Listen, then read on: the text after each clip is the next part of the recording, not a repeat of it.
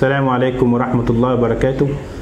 النهاردة إن شاء الله في الفيديو ده هنتكلم عن الأدوية اللي إحنا بناخدها بعد عملية تكميم المعدة. كنا في الفيديو اللي فات اتكلمنا عن التغذية بمراحلها المختلفة إذا كانت مرحلة أولى أو مرحلة تانية أو مرحلة تالتة.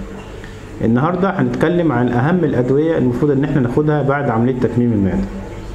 أول دواء هو حقنه السيولة. حقنه السيولة بناخدها من أسبوع لشهر على حسب سن المريض على حسب عوامل الخطورة اللي في المريض إذا كان عنده ضغط أو سكر أو مشاكل في القلب أو already هو بيمشي على أدوية سيولة أو حصل له جلطات قبل كده ولا لأ. آه، فإحنا بناخد دواء السيولة أو حقنه السيولة مرة كل يوم لمدة أسبوع إلى شهر. بالنسبة لل vitamins اللي إحنا المفروض ناخدها بعد تكميم المعدة بتنحصر في ثلاث حاجات. الحديد الكالسيوم مجموعة فيتامين بي طيب بتتلخص في إيه؟ أول شهر ما بقدرش آخد برشام على بعضه فباخد حاجات مضغ زي ال TRQ أو هير بلاند معاه أوستيوكير شراب كالسيوم وفيتامين د.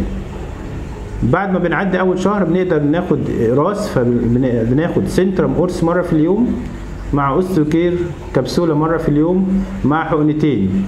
حقنة فيتامين د حقنه كل شهر وحقنة فيتامين بي مجموعة فيتامين بي حقنة كل شهر بستمر بستمر على الأدوية لمدة سنة كاملة مع التحليل المنتظم كل ثلاث شهور. بطمن على نسبة الهيموجلوبين بطمن على نسبة الكالسيوم في الجسم بطمن على فيتامين د في الدم أخباره إيه بطمن على فيتامين بي 12 في الجسم أخباره إيه.